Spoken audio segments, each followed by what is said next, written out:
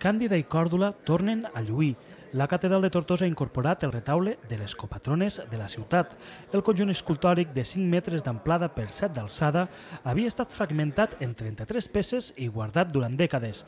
Va ser construït el 1671 i representa l'únic exponent de l'art barroc classicista a les Terres de l'Ebre. Aquí hi ha retaules gòtics, retaules renaixentistes, una gran eh, retaules barrocs i faltava el retaule aquest, que és un retaule, al meu parer, una mica singular, perquè té una estructura renaixentista, però amb molts elements decoratius del barroc. Per tant, en, crec que el conjunt eh, artístic de la catedral queda realment mm, enriquit molt.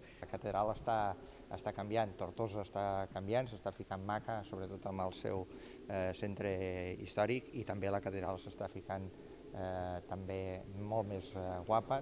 Deteriorat amb el pas del temps, enrere queden les 30.000 hores de treballs a càrrec dels tècnics de l'Escola d'Art de la Diputació de Tarragona a Tortosa. Darrere d'aquest procés hi ha un creixent talent de gent de casa nostra, del sud del país, que ho fa possible.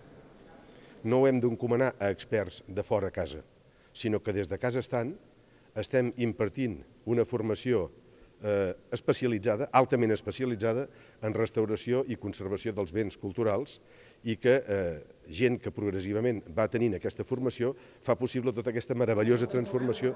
El cost de la restauració ha sigut d'uns 450.000 euros. Des de 2009, l'Escola d'Art ha restaurat una vintena d'obres. El muntatge del retaule de les Santes Càndida i Còrdula és la darrera d'altres millores que s'han fet a la catedral.